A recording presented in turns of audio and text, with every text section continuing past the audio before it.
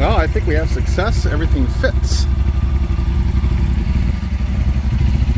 As far as the strength of these wings go, I was planning on doing some gussets.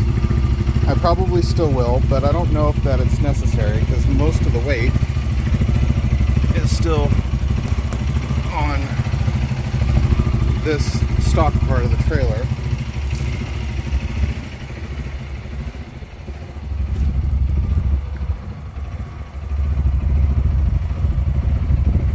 Let's take a look at it from the other side.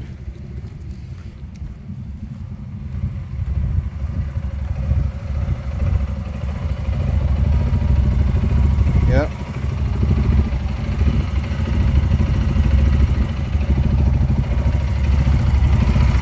Looks good. And I still have a little bit of movement back and forth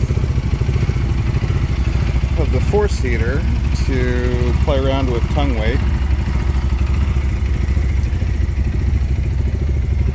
I do have a uh, scale on the uh, hitch in the truck, so I'll see what the tongue weight is. It's probably pretty heavy right now.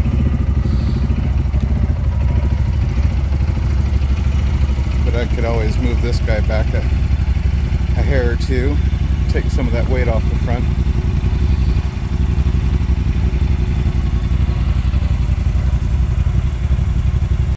Alright, so I've got the trailer hooked up to the truck so we can actually look at the scale and see the tongue weight.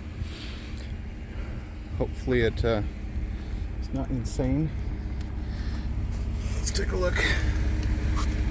Looks like we are five, six, seven, just a little bit over 700 pounds on the tongue, which maybe we can lose about 50 and we'd be right on. I think according to the weight of the machines in the trailer, that should be fine. Keeping in mind that I am towing all of this with that.